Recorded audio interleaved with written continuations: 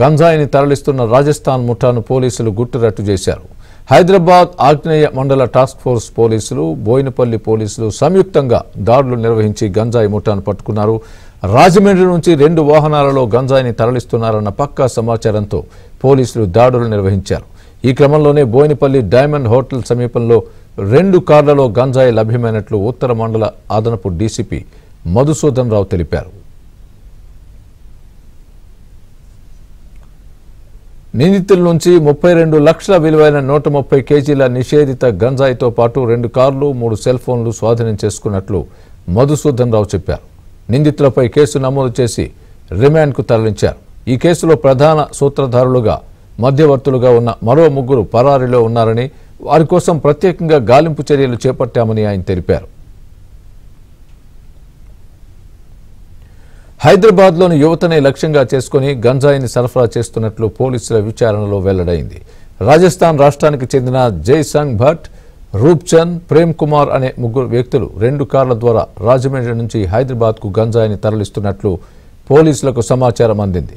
దీంతో పక్కా ప్రణాళిక ప్రకారం వారిని బోయినపల్లిలోని డైమండ్ పాయింట్ హోటల్ వద్ద పట్టుకున్నట్లు ఉత్తర మండల అదనపు డీసీపీ మధుసూదన్ రావు తెలిపారు. డైమండ్ పార్క్ దగ్గర వెహికల్ చెక్కింగ్ చేస్తుంటే ఒక రెండు వెహికల్స్ అనుమానాస్పదంగా అక్కడికి రావడం జరిగింది. వాటిని చెక్ చేస్తే ఒకటి బొలెరో వెహికల్ ఇంకొకటి Maruti Swift without number plate. ఈ రెండు వెహికల్స్ చెక్ చేస్తే అందులో రెండు వెహికల్స్లలో నిషేధిత గాంజాయి